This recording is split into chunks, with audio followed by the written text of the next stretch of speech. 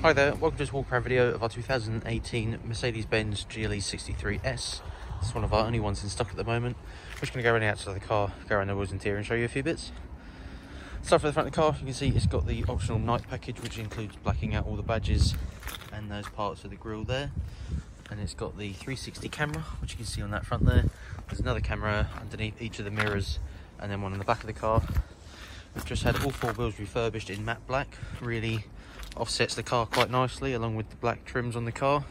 And you've got those big red calipers there to really stand out and really stop the car on this as well. Very effective brakes. You've got the v8 bi-turbo badges there. So it's got the big 5.5 twin turbo. And then coming around to this corner here. See it's got the really really wide rear tires you've got the sensors all around the back of the car. So it gives you like a wraparound effect. Looking down that side of the car there's no dents or anything like that at all and obviously you've got the roof rails along with the pan roof system as well. Coming round to the back, you've got the big four-pot AMG exhaust system with the blacked out exhaust tips as well. Obviously you've got the GL, GLE 63S badging. No dents or marks or anything along the back here. Nice chrome trim there. Bit of a scuff plate obviously for anything that goes in the boot. Again, that real rear wheel there. Tyre tread still really good and then when you look down the side again there's no marks or anything like that no door dings and again you got that wheel there. Car has keyless entry on all four corners of the car. So you see the little divot there. Basically means it's got keyless entry so you can even go to the back door and it'll unlock the car. The mirrors will fold out and you've got access to the back of the car. We'll start off in here. You can see you've got the amg carpets there which all clip in. You've got the leather seats and the AMG badge in there. And you've got heated rear seats along with the dual aircon, so it's all controlled through there. You've got heated seats for the two outer seats there. We'll jump into the front. And again, you've got all the seat controls and memory settings for the front passenger seat as well as the driver's. So you can have the memory settings on the passenger. You've got Harman Kardon sound system.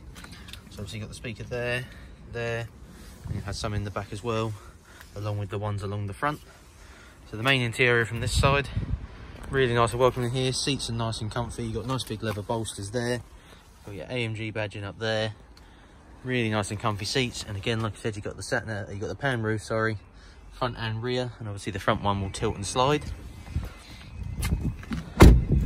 Go around the front of the car just to show there's very few stone chips on here, very few marked at all survive the UK roads quite nicely. Obviously there'll be very, very minor ones here and there, just like that little one there, but looking around the whole car, there really isn't much on it at all. Come around to the driver's side.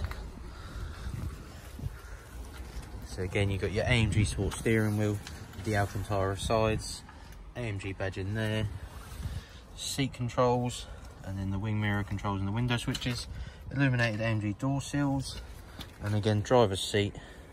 Nice and comfy nice and big bolsters. We'll jump in. Put the keys in there for now. And then when you come into the car you've got the big infotainment screen there. Your main dash there. Car's on 44,000 miles which is actually really good for the age. And then you've got your push to start button just down here. So foot on the brake. We'll open up the door as well just to get the cold start in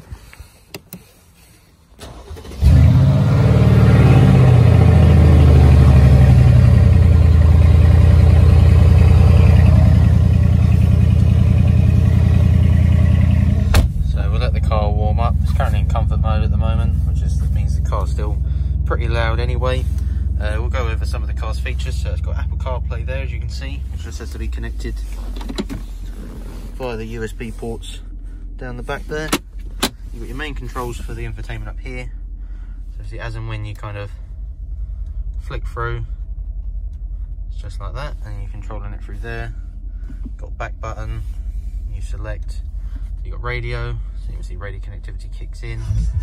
All your volume controls are in the middle here so you've got a little bit of an easier access there as well.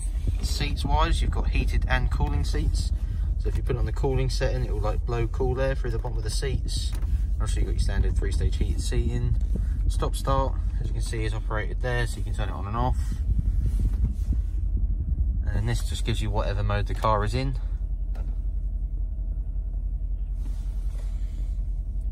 So you can you can adjust the suspension on the car and everything like that. And then you've got your aircon controls down here, cruise control there, and the electrical steering column. Because obviously as you move the you've got four-way adjustment there. you've got your paddles, shift up and down, wiper stalk, and then the gear shifter there. So obviously you put on the brake and then you'd knock up into reverse. You get your 360 camera kicking. Uh, the mirror dips down as well, and then you've got the reverse camera. Obviously then you've got drive as well. Your 360 camera still remains. Uh, and then we'll put it back into park. We'll pop the car into sport just so you can obviously hear the exhaust.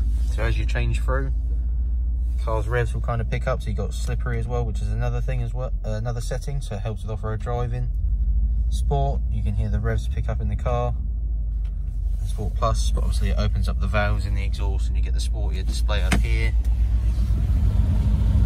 give the car a few revs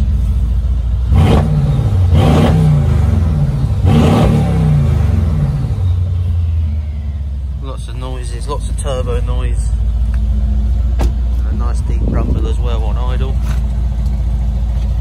As you can see. And there we are. Just coming back round to the front so you can see the headlights kicking as well. And there we are. Thank you for watching this video.